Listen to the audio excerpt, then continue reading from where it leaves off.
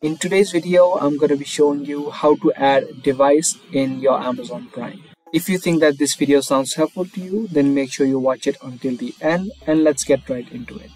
Firstly, make sure that you are logged into your Amazon Prime. And once you are logged in, you just click on this arrow beside your name and then open up accounts and settings.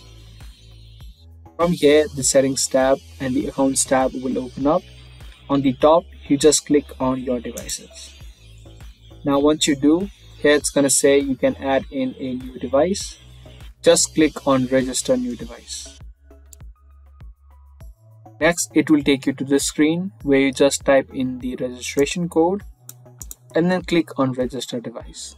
Now in order to find the registration code, you just open up the Prime Video app on your device, click on the register option and then your code will be visible. You just enter in your code and click on register and that particular device will also have the benefits of Amazon Prime. So that was a real quick and easy video. I hope you guys understood. And if you guys are new to the channel, consider subscribing and also turn on the notifications so you get notified for more future videos. That's going to be all for today. I'll see you in the next one.